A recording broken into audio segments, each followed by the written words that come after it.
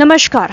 स्वागत है आपका इंडिया न्यूज़ 28 में। आइए बात करते हैं उत्तर प्रदेश की कुछ खास खबरों की। बरसाना पुलिस की मौजूदगी में जमकर चले लाठी डंडे और पत्थर।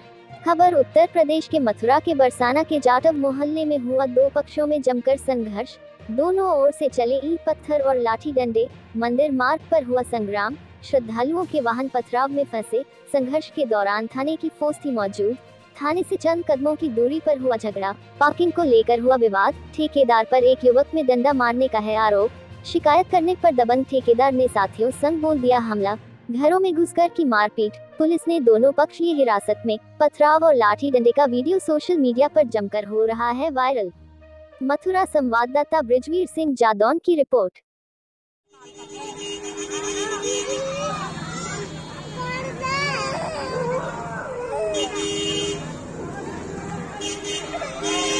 ठाकुर है, ठाकुर आ रहे, चिंता मत करे तू भाई। वो मारती हो मारती हो घर में घुस के मारती दियो